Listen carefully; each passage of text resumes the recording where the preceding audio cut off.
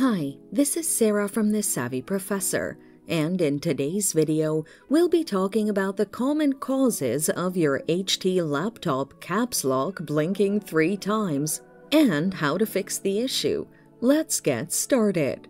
The main cause of the caps lock blinking three times on your HP laptop is a hardware issue. The caps lock blinking three times on your HP laptop means an issue with the hardware. It's likely that the RAM requires cleaning, has an error, or is damaged. Now, let's look at the best solutions you can apply to resolve the issue. Reset your RAM module.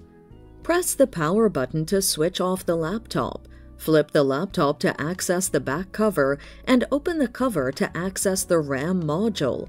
Remove the memory stick and carefully clean it with a soft cloth dipped in petrol or thinner. Reset the memory sticks and ensure they're properly placed. Close the back cover and press the power button to switch on your laptop.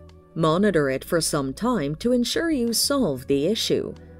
Do a Windows Memory Diagnostic Test. Press the Start button and search Windows Memory Diagnostic. Next, Click Restart Now and check for problems. Your laptop will restart and the test will run automatically.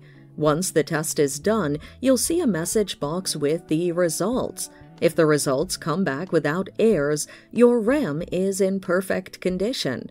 However, if you see an issue, replace the memory sticks.